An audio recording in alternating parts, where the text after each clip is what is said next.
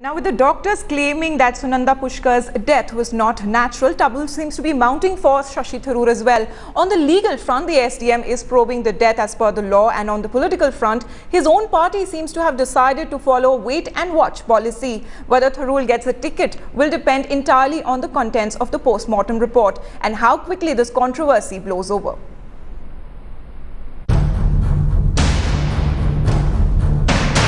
Sunanda Pushkar's sudden and mysterious death, which followed the highly publicized public spat between her and Pakistani journalist Mehr Tarar, could lead to serious problems for Shashi Tharoor.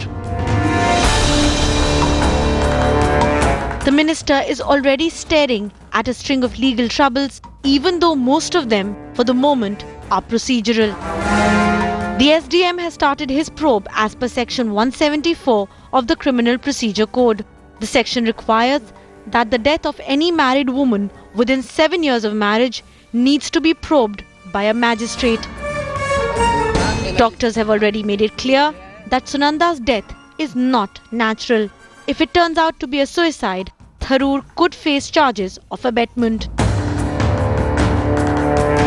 Legal troubles aside, the death has already cast a shadow over Tharoor's political future.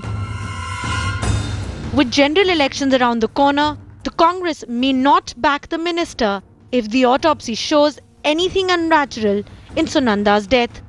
Party President Sonia Gandhi visited Tharoor to convey her condolences, but other than that, the Congress has refused to issue any official statement on the matter.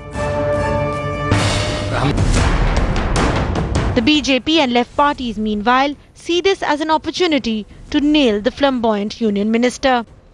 I, I cannot be sure of anything, but I am certainly of the view that the circumstances are such that we need to get. Tharoor's fate and political future now hinges mostly on one thing the autopsy report, which is likely to be out by Monday.